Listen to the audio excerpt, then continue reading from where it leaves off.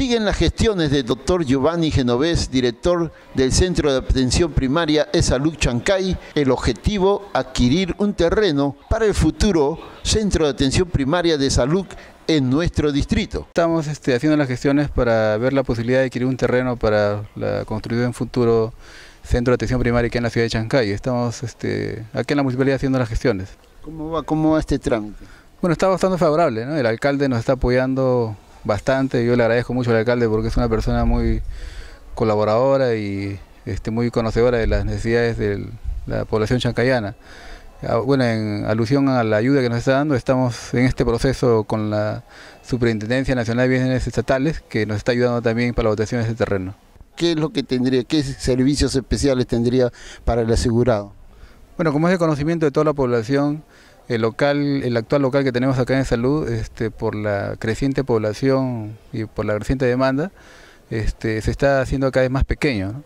Ahí necesitamos más ambientes para todo, para tener este, especialistas, ambientes, necesitamos ambientes para eh, una serie de, situaciones en las cuales este, el crecimiento de la población ya no nos permite, por eso que la creciente demanda nos está obligando a que busquemos un terreno este, de mayor este, amplitud y que podamos darle mejor servicio a los asegurados. ¿no? Bueno, y por ende, este, con la ampliación de mayores este, servicios, ¿no? como especialidades, ¿no? la intención es que el CAP 2 crezca un CAP 3 y así sucesivamente y podamos tener, poderlo, podamos darle mayor cobertura a los asegurados. Esa es la idea. ¿no?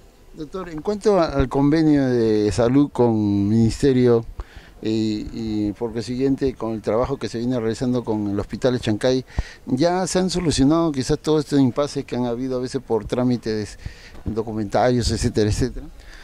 Claro, mire, este, tocando, el, tocando el tema, este, actualmente este, el MINSA nos ayuda solamente, inicialmente, con las este, prioridades 1. Cuando un paciente se sienta este, peligrando su vida, se sienta mal y tiene una prioridad 1, el hospital Minsa nos lo recibe inmediatamente, pero previamente tiene que venir de salud. Nosotros, este, viendo la condición del paciente y por la lejanía del hospital de Huacho y la lejanía del hospital de Sabogal, nosotros lo mandamos al, Minsa para estabilizarlo al paciente y darle la solución inmediata en ese momento, ¿no? a su prioridad de salud.